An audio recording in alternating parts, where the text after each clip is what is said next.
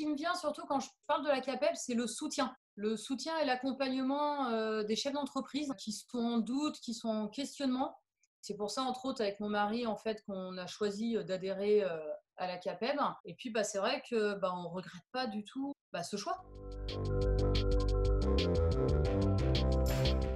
Alors nous, on a fait tout au début euh, du, confinement la demande du chômage partiel parce qu'on ne savait pas du tout en fait à ce moment-là comment l'activité allait se dérouler. Et euh, bah, pendant le Covid-19, donc on a un salarié qui a déserté euh, pendant une semaine. Et donc là, c'est auprès de Monsieur Pignon. Il nous a aussi accompagnés. Enfin, c'est bête à dire, mais au moins, de par un mail qui nous a envoyé qu'on devait répondre en fait euh, pour répondre à notre salarié le fait de son absence, qui justifiait en fait son absence, qui se sentait pas en sécurité, etc.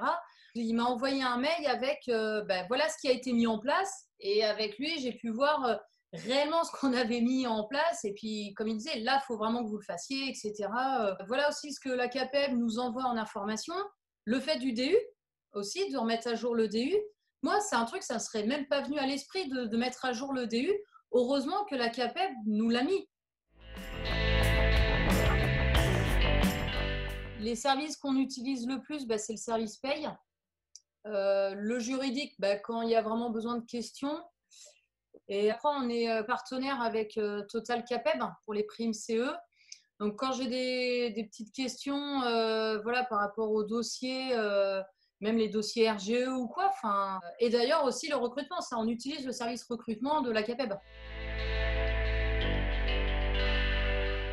La CAPEB, oui, je recommande. Y a la réactivité, ils sont plus proches de tout ce qui est bâtiment, etc. Et ça, quand j'en parle à mes collègues, quand euh, je leur dis que bah, la, partie juridique, du coup, je ne la paye pas au niveau de mon assurance parce que c'est pris en charge dans mon adhésion, etc., euh, ils me disent Ah ouais, quand même. À un moment, sortez de vos habitudes, ça fait 10-15 ans que vous êtes dedans sortez, allez voir ailleurs, renseignez-vous. Il y a peut-être une adhésion à 300 et quelques euros parce que c'est en fonction aussi des salariés, etc. Derrière, j'ai des formations gratuites. Si j'ai des questions, j'ai les réponses. Euh, j'ai les documents que j'ai besoin pour les DU, pour les machins. Enfin, j'ai tous les services. Puis après, je suis sûre qu'il y a même des informations que j'ai pas encore été chercher et que la CAPEP pourra me fournir sans problème.